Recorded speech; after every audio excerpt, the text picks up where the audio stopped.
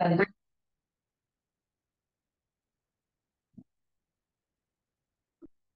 मित्रांनो तुम्हाला नमस्कार करतो. ओम श्री गणेश देवताय नम. ओम श्री कुळदेवताय नम. ओम श्री गुरुदेवताय नम. ओम सर्वश्री इष्टलिंग देवताय नमो नमः. शिवशनाथ मित्रांनो मी कडाप्पा परत एकदा आपल्यासमोर हजर आहे. माझ्या धर्मकरम चॅनलमध्ये आपले सहर्ष स्वागत करीत आहे. मित्रांनो वार नक्षत्र तिथी योग आणि करण या पाच अंगाचे मिळून पंचांग तयार होते. आणि अशा पंचांगाचे ज्योतिषाकडून रोज श्रवण केले असता नाना सिद्धी प्राप्त होतात. याचे कारण मित्रांनो तिथीच्या श्रवणाने वैभव स्थिर होते. वाराच्या श्रवणाने दीर्घायुष्य प्राप्त होते. नक्षत्राच्या श्रवणाने केलेल्या पापांचा नाश होतो. योगाच्या श्रवणाने वियोग नाश होतो. तर कर्णाच्या श्रवणाने मनातील सर्व इच्छा पूर्ण होतात मित्रांनो. असे आपले हिंदू धर्मशास्त्र पण यासाठी आपली वास्तू वास्तुशास्त्रानुसार असावी. देवघर योग्य दिशेला असावी. येथे योग्य देवघर असावे. देवघरात योग्य व प्रमुख अशा देवता असाव्यात. प्रातकाळात कुटुंब प्रमुखाकडून विधिवत संकल्प सोडून अभिषेकी युक्त पूजा संपन्न व्हावी. तसेच पूजा करतायची व कुटुंबातील इतर सदस्यांची अंतर्बाह्य कर्मशुद्धी असायला हवी. तरच आपण नाना सिद्धी प्राप्त करण्याला पात्र ठरतो. असे माझे तरी स्पष्ट मत आहे मित्रांनो. मित्रांनो आता पंचांग उद्याचे मी आपण सांगत आहे कृपया त्याचे आपण शांतपणे श्रवण करावे आणि असे पंचांग आपल्या विविध धार्मिक कर्मकांडात उपयोगात आणावे मित्रांनो.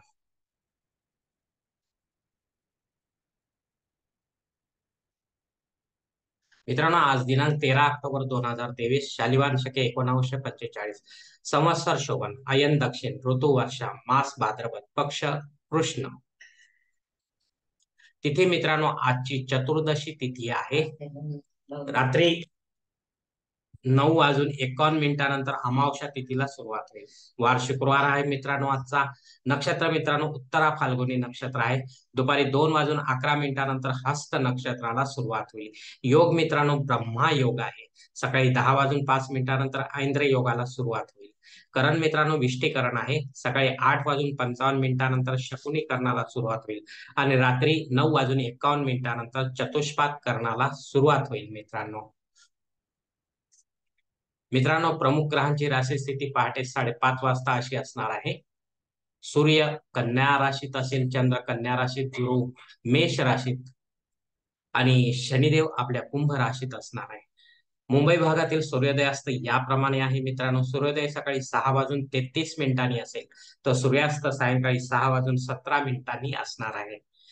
मित्रांनो आता आपण या पंचांगाच्या आधारे आजच्या नित्य पूजेसाठी जो संकल्प लागतो तो सोडूया. यासाठी आपण आपल्या उजव्या हाताच्या तळातून एक पळी पाणी थोडे अक्षत एक फुल वा फुलाची पाकळी या आणि हा संकल्प म्हणायला सुरुवात करा मित्रांनो.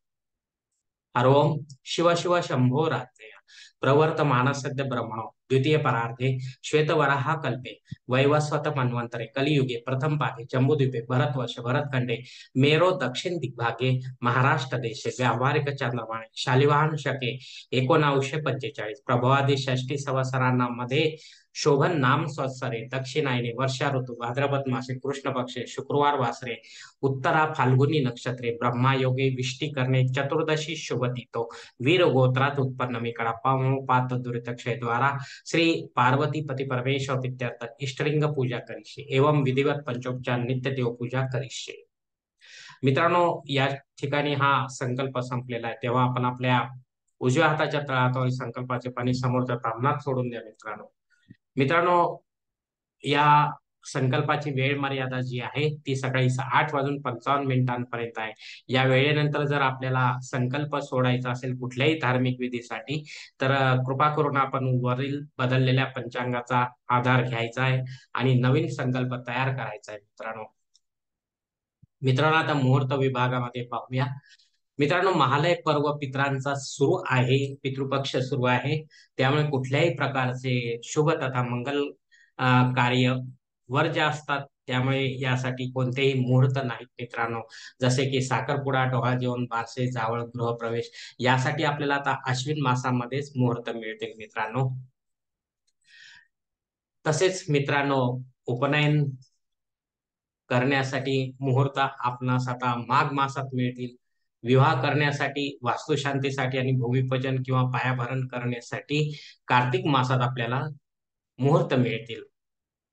आणि देवमूर्तीची प्राणप्रतिष्ठा करण्यासाठी फक्त अश्विन मासात आपल्याला मुहूर्त मिळणार आहेत मित्रांनो. मित्रांनो अशा वेळी मुहूर्त नसताना आपल्या सुविधेनुसार कोणत्याही प्रकारचे मुहूर्त पुरोहितांच्या मदतीने वा स्वतः तयार करू नका किंवा तसे करण्यास पुरोहितांना भाग पाडू नका. तसेच पंचांगातील गौण संकट व आपत्काळातील मुहूर्तांची निवड शक्यतो करू नका.